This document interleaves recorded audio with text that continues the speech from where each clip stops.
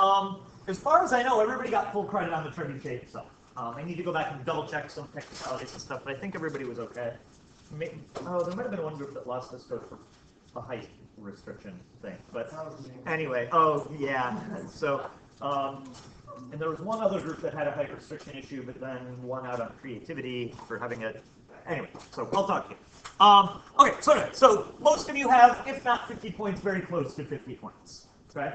So now, the remaining chunk is the 100 points for the paper. All right, so you should be digging out your lab reports from first semester. You know, we haven't done as many lab reports as I would have liked, is what it is. Um, and looking back at comments, all right? Um, so it is a lab report. Some of this is going to be a little bit silly in terms of putting it into a lab report, but overall the process I think still holds true. All right, so um, lab report should start with cover page. Background. All right, so the last lab we did, I don't know if you guys remember, it was the one where we had the carts on the tracks with the pulleys and little weight pulled the cart down the track, right?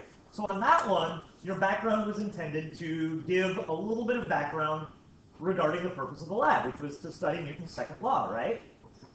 Okay? This time, we're not really studying one specific law, right? It's just about, like, can we get this trebuchet to work? All right?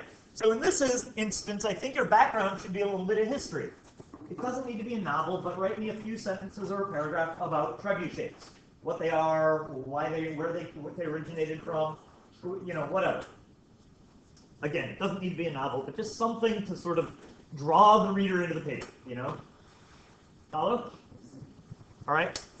Purpose. What are you trying to answer? Well, you're trying to answer the question, can we launch a marshmallow, right? Uh, hypothesis, we think we'll be able to launch our marshmallow more than 50 centimeters, or however far you think it's going. All right? So that that's like bare bones minimum. And for 99% of you, I'm guessing that's what you're going to do. Somebody in my fourth hour said, well, can we do further experimentation? Can I modify my the mass of my counterbalance and see how that affects the range? A hundred percent, yes, please. Like that honestly was the original intent, but we ran a little tight on time and it is what it is. Okay? So your hypothesis doesn't have to be a novel, it doesn't have to be anything mind-blowing. It, it's a little bit silly for this setup, I get it. Yes. Um, do you have this sheet on website? You have copy a copy. I cannot. I will give you a new copy. There's also piles and piles of them back there. Yeah. Okay. All right. Um. Yeah. I thought this was something that was at the beginning of the year. Oh, yeah. Uh, you've seen this in different forms a bunch of times, um, as we've done different labs. Why is oh? Okay. All right. Materials. Just a bulleted list of stuff you use. Hot glue, popsicle sticks, uh, pencil, uh, duct tape, whatever. Literally all. All right, please, please, please. I, I think, but in the past I said it can be in paragraph or bulleted. The more I think about it, bulleted just makes way more sense, right? Like if you're doing a recipe and you want to make brownies, you don't have to read through a paragraph to figure out what you need for the brownies. You just want a list, right? So you can store by stuff, right? Yeah. So you want specific amounts of popsicle sticks, or it's just popsicle sticks? Um, no, I don't think you need to be that specific there. Just yeah, a rough list is fine. Yes. Um, for the purpose, um, of like the question you're saying, it can just be in the question form. That's fine. Yeah. Do you have set this question to my answer? Either way. Either way. Okay, everybody good up to there? You, would have to really do something horrible to not get your points here. Like these should be easy points, right? You know, like I'm not going to go over that with a fine tooth comb. All right, so everybody good with that? All right, now here's the bulk of it. Procedure. This is like this is what I'm going to be reading. Like careful. All right. So down at the bottom, I'll remind you, this was an issue last time. As always, remember, the reader should be able to repeat your lab using these procedures given the equipment. I ought to be able to give your paper to Mr. Pata, who is the science, the physics teacher over at North, and he ought to be able to say, oh, cool, and give it to his students, and they ought to be able to reproduce your experiment. Okay? So don't write it thinking, ah, Hecker's going to know what I'm talking about. Okay? Because I'm not your audience.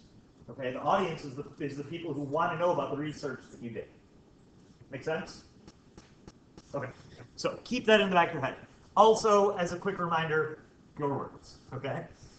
All right, So, I tend to see the procedure being broke up into um, two parts. So the procedure, I- maybe three parts, I guess, really. Um, so you're going to talk a little bit about construction, how you built the thing, right? Okay. And then the operation of it. And the operation itself has two chunks. There's the firing of the trebuchet, right? And then there's the projectile portion of the trebuchet. Make sense? All right. So the, am I saying that with weird emphasis?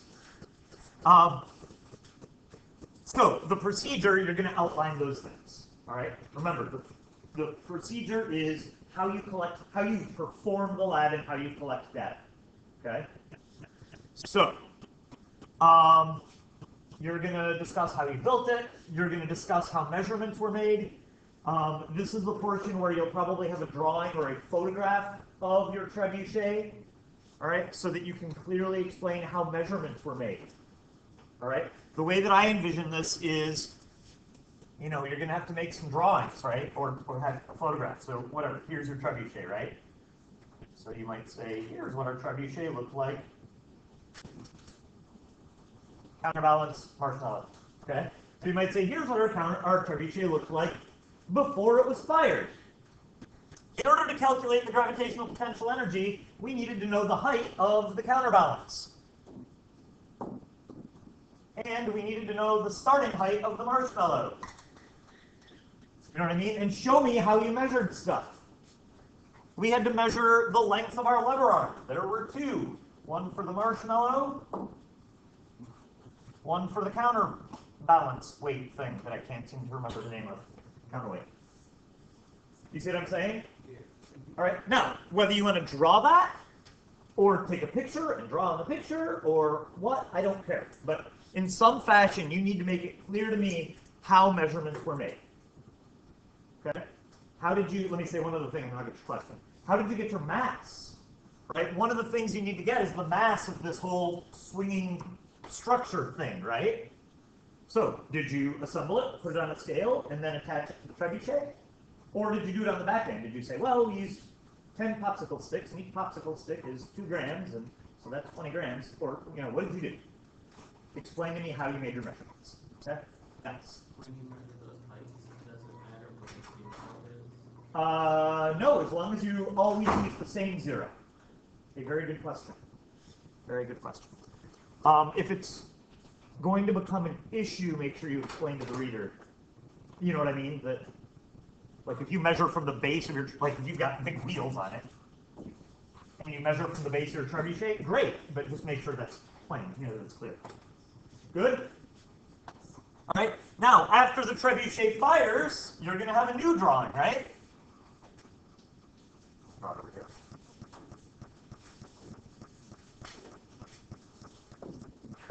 Right? And that's going to result in two more heights, right? A new height for your countermass and a new height for your marshmallow.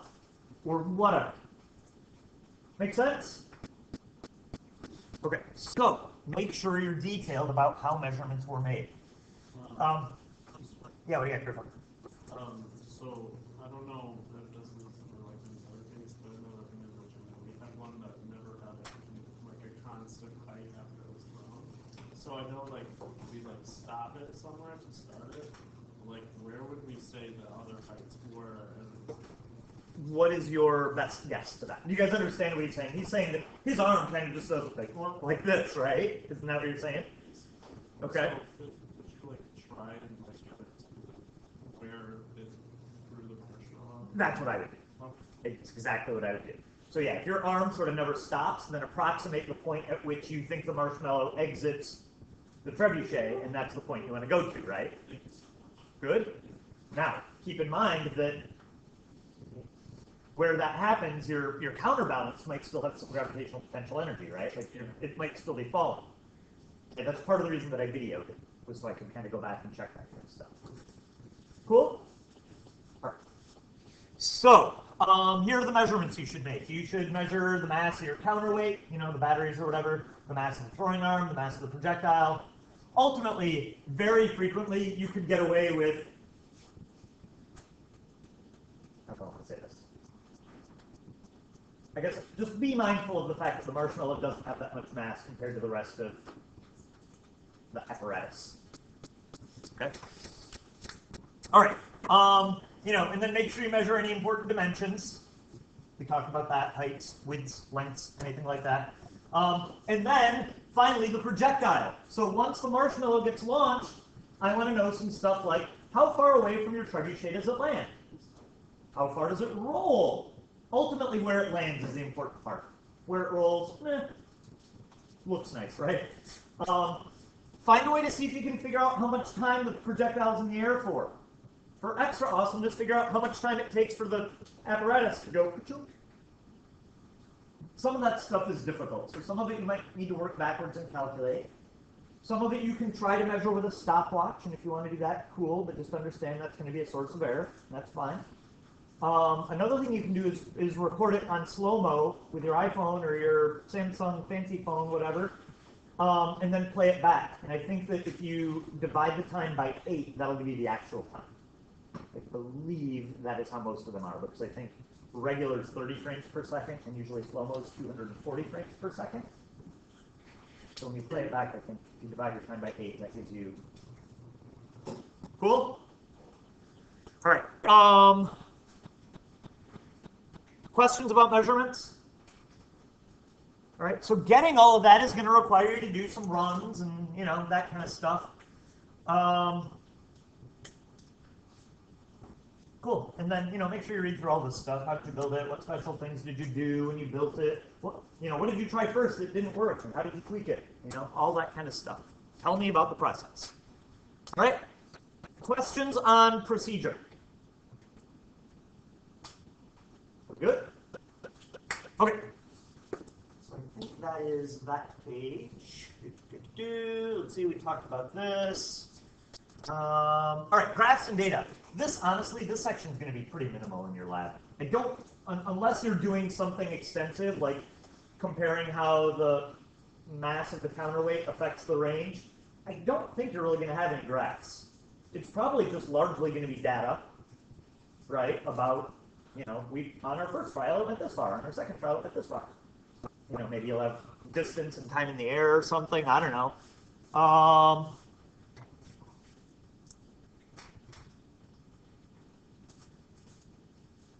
guess that's it. I guess you could argue that the measurements you make is data, right? So that's where those pictures come in. All right, so everybody good with that? There's not a ton of data. It is what it is. All right. Um, let's see. Oops. Okay. Calculations. This is going to be the other big chunk. All right. So here's how I'm envisioning this. So at some point, you're going to calculate the rotational uh, rotational inertia of your counterweight. Okay? And in your paper, you might say, we calculated that the rotational inertia of our counterweight was blah, blah, blah, blah. And then in parentheses, you should put C figure, or sorry, you should put C calculation number one. And then I ought to be able to flip to your calculation section, find calculation number one, and see how you got that. Does that make sense? Kind of like a, a bibliography or footnotes, endnotes, whatever they're called. Does that make sense? Okay, cool. So here are the things you should calculate. You have done all of these calculations with one exception, and I'm going to show you how to do that right now. Okay? So we learned when we did angular momentum and not angular momentum, sorry, when we did uh, torque, we learned how to find rotational inertia, right? Like we learned that a disk was one half mr squared, and a hoop is mr squared, da, da, da, right? Um, and then two of the things that were on there were the rotational inertia of a uniform rod about the center, and then there was one for a uniform rod about the end. Okay? But the problem is, most of your trebuchets, the uniform rod isn't pivoted at either the middle or the end, right? It's just some arbitrary spot in the middle, right? So how do we find the rotational inertia of that? So, those of you that take AP will eventually learn what's called the parallel axis theorem. So that's one way of doing it. Here's another way of doing it. Well, here, I'll so basically what you're gonna do is, you're gonna break it up into four things, okay? you're gonna have the rotational inertia of the marshmallow. Okay, I'll show you how to get that in a minute. The rotational inertia of the counterbalance thing, which I'll tell you how to get that in a minute. The rotational inertia of this half of the lever arm, and the rotational inertia of this half of the lever arm. Make sense? Right? Each chunk of the lever arm, so this chunk of the lever arm, can be treated, can you see CJ? Can you see what I'm doing? So this chunk of the lever arm can be treated as a uniform rod pivoting around the end.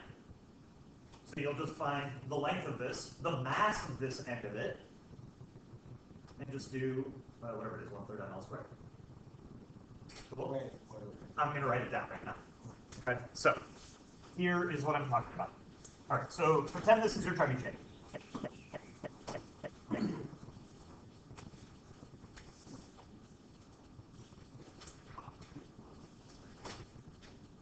I don't remember which way I drew this before. Marshmallow.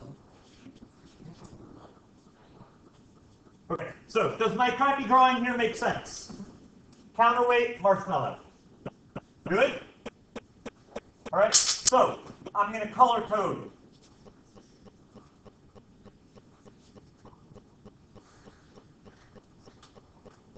So the rotational inertia of the counterweight. So basically, that is a, a point particle, right? Because it's small compared to this distance. Okay? So to find the rotational inertia, of a what's called a point particle moving in a circle, it's just the mass of it times r squared. So let's call this distance here, let's call this L1. Okay? So this would just be m times L1 squared. Good? All right.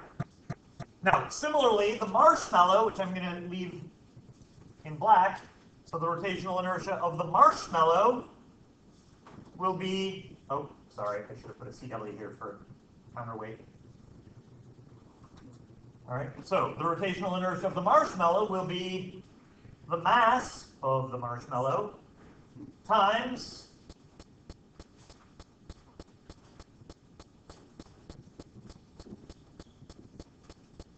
L2 squared. So let me pause there for a minute. Does that does that make sense? That's how you find the rotational inertia of the little counterweight thingy, whatever you have for your counterweight, and the rotational inertia of the marshmallow. Are there questions up to that?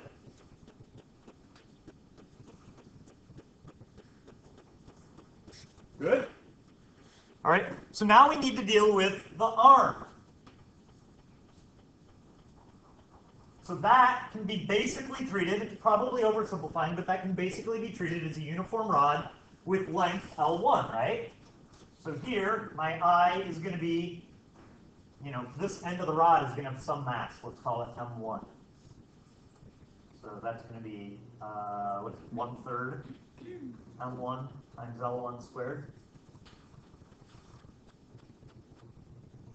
So that's the mass of the green end of my lever arm. Follow or no? Anybody confused? All right, and then we got to deal with this end of it.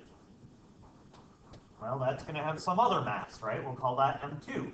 So I for that is one third mass 2 times length 2 squared. Okay, so you've got four things that are rotating. Each of them have rotational inertia. That's how you calculate each of your four rotational inertias. What do you think you do with them all to get the total? Add them up, right? It's inertia. So in the same way that you can add masses, you can add rotational inertia. Because they're all pivoting about the same pivot point. So it all works out. No. For two reasons. One, mass can't be negative and L gets squared. Two, doesn't make sense to have negative inertia. Yes. Very good question. How do you go about finding the mass of one chunk? All right, so I've got this rod here. So presumably the person who constructed this found the mass of this thing. Okay? It looks like it's pretty much uniform thickness, right? So hypothetically, I'm going to make up some numbers here. Suppose that I knew the mass of this whole thing was 50 grams. Okay? Well, if I cut it in half, doesn't each half have a mass of 25 grams in it? Right? So I'm gonna be able to use ratios. So if the whole thing is 50 centimeters and it has a mass of 50 grams, then 30 centimeters would be 30 grams or whatever. Okay? Um, so, and it'll have to be some approximating, and that's fine.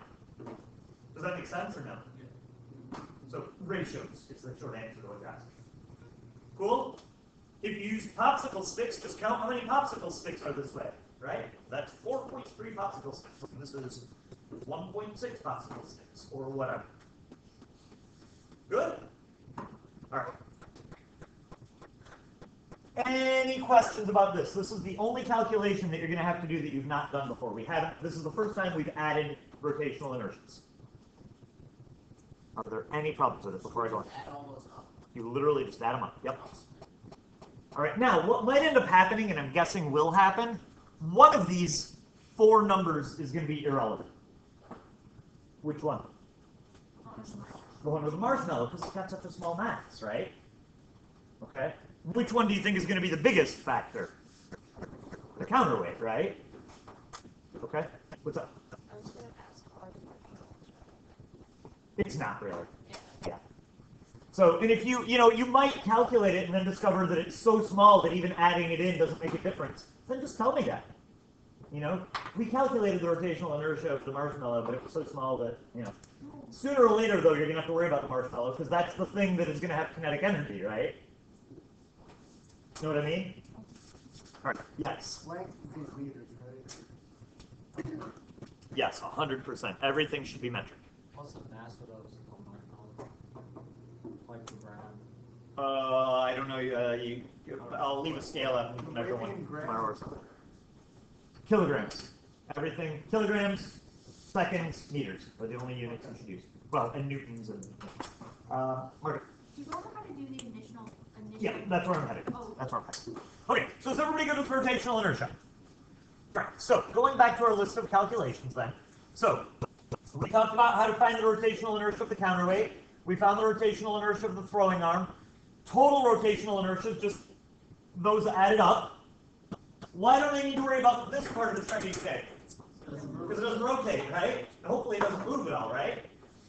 Okay? Now, initial torque provided by counterweight. So, here's my uh, that's Pachydrawn. So, here's your trebuchet again. Oh, I know the one other thing I wanted to say real quick. Not all of you had a cup that held your uh, held your marshmallow. Some of you had a sling.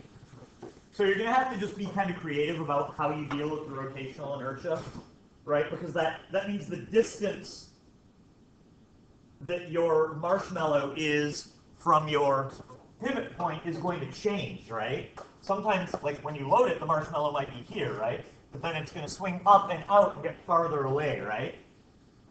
So we haven't learned enough for you guys to be able to effectively deal with that changing radius. That requires a bunch of calculus. Like I, don't even know that my AP students could do that. Um, so what I told somebody last hour was maybe take the average, like figure out what the closest radius is and what the farthest radius is, and average them. That would be one solution. Um, the other option would be to go worst case scenario and just pick, just use the biggest one. That would work. That would be give you a conservative estimate, you know. Follow? All right. Okay, so torque provided by counterweight. So here's the deal. So here's your setup. Here's your marshmallow. Here's your counterweight. It blue again. Counterweight.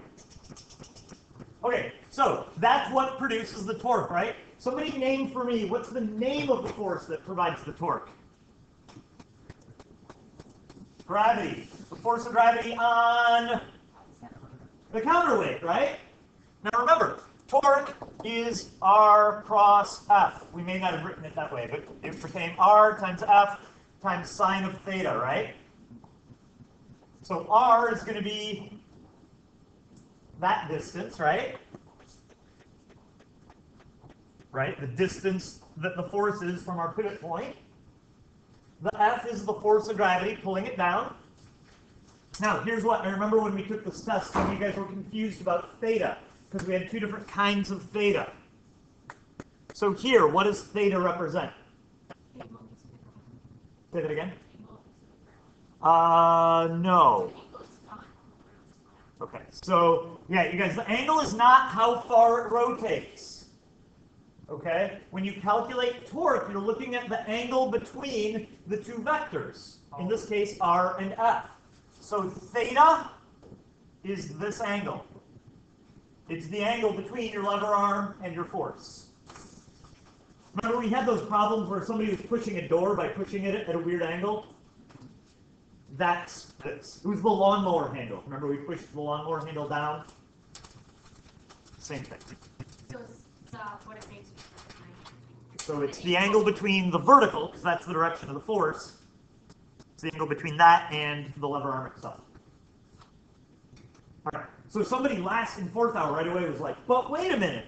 The lever arm is going to move, so that angle is always changing, right? A hundred percent. And that's why in the instructions I asked you to find the initial torque. Because it's going to change, right? As that angle changes, your torque changes. So theta's between the horizontal, not the vertical. It's between the Or vertical. I mean, not the horizontal. It's between the vertical and the lever arm. Good? All right, and then from here, the rest of this is all stuff you've done. So to find your initial angular acceleration, torque equals I alpha. We just found our torque, we just found our I, find your alpha. Cool? All of this is conservation of energy. All right, let me kind of walk you through that real quick. Have a drawing that I want to use. Okay, so in this drawing, we've got a lot of GPE in our counterweight, and maybe a little bit of GPE in my marshmallow, right? When you release it, you lose a lot of GPE here, you gain a little KE here, and in exchange, the whole thing rotates. So in this drawing, we've got GPE of the counterweight. We've got GPE of the marshmallow, and that's it. So that's my total energy initially, right? Obviously, which of these two numbers is going to be the most significant? The counterweight, right? Because it's got more mass and more height, right? Are you good, Fred?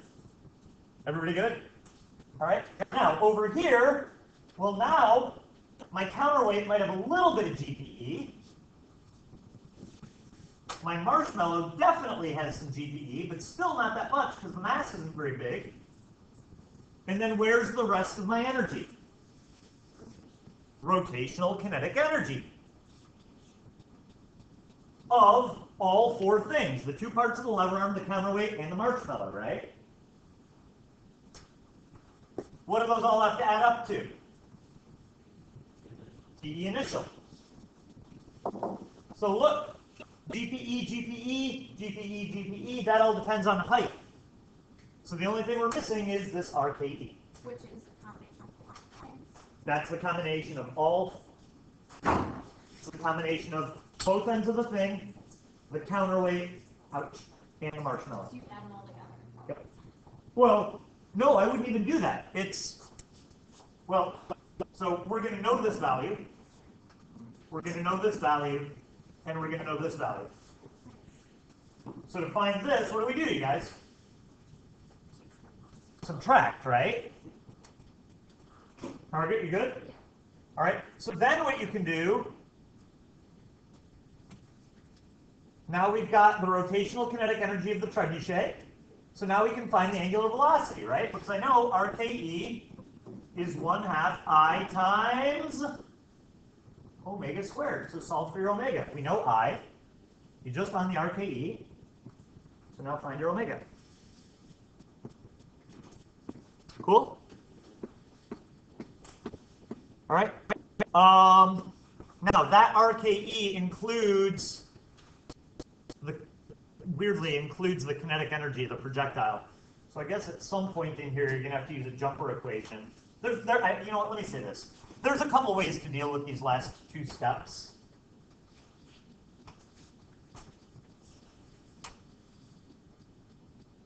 I think I might leave it at that. Because there, there are legitimately a, a few valid ways you could do it. And they might give you different answers just because we're making some generalizations here. But they should be in the, in the same neighborhood, okay? So anyway, it's some, in some fashion, you need to find a way to find the kinetic energy of the marshmallow and the velocity of the marshmallow when it launches. All right, and there are a few ways of doing it. Good? All right. Um, and then this is just using projectiles equations, so that should be dig out those old projectile equations. Remember, you separate your horizontal and your vertical motion. Good? Okay. Now, there it is very possible you'll have to make other calculations. You know, you might need to use some trig to find some distances, or you might need to, I don't know, whatever. There are other things you may need to calculate. If you do need to, then great, show me that. Good? Questions? Right. So I think the two biggest part, well, definitely the two biggest parts of your grades are going to be procedure and calculations. Good? All right. Finally, experimental sources of error. You're going to have a billion sources of error. Shut them up. What do you got? Air resistance on the marshmallow. Well, we do that one, if you are doing that thing where like, you have to find like where it launches. uh, Estimating the release point is a source of error. Your fault. What do you got? Marshmallow position. Uh, oh, you got to be careful how you word that. Well, I, obviously I'm not talking scientific. No, no, no, I know, but You know what I mean though, when I'm saying on the thingy, because if We you have the put sling, it, we if the sling put it, one, so it's like, it can be different. Okay, so yes, so I guess what I want to make sure is that like, suppose you've got a thing that looks like this, and you're, that's what holds your teeny little marshmallow. You know what I mean? I guess that to me that would be a thing that I would improve. Like next time we would make it so that we could consistently place the marshmallow. Now, if you've got a sling, I agree that you- there's only so much control you have. I'm being fussy. You're right. That's totally good. Tell me to shut my face. Thank you, Fred. What do you got? uh, Uh, friction between like the axle and the, uh, Yeah, there's friction, right? Somebody said mass of the glue and tape and stuff like that, right? A lot of you didn't take that into account. Fine. Theoretically, you should have, but it is what it is. All right, so there's a gabillion sources of error. Uh, estimating the radius of rotation if you've got a sling is a source of error. Um, I don't know.